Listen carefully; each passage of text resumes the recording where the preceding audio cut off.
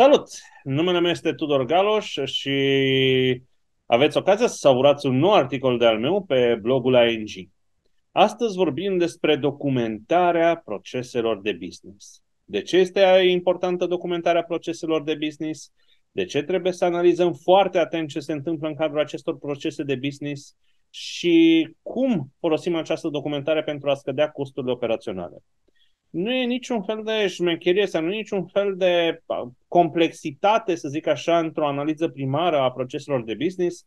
Bineînțeles, cu cât e business-ul mai complex, cu atât și procesele sunt mai complexe, însă este un pas foarte important în redescoperirea business-ului tău și a modului în care banii vin în firmă și banii pleacă din firmă. Ca să facem o documentare bună a procesului de business, trebuie să răspundem la câteva întrebări. De ce? Prima întrebare, de ce facem un proces de business? Multă lume crede că, da, domnule, haide să facem, că așa se făcea până acum. Total greșit. Uh, ce se făcea până acum poate astăzi nu mai este relevant. De aceea trebuie să îl documentăm ca să găsim răspunsul la această întrebare. Când facem acest proces de business? Este o chestiune temporară? Este ceva recurent? Este ceva permanent? Cum se face el? Respectiv, de unde vin informațiile, de unde vin datele, către cine se duc, ce date utilizăm, cum le utilizăm, uh, ce fel de sisteme folosim, ce facem cu aceste date și, cel mai important, uh, cum le folosim astfel încât să fim uh, într-un beneficiu.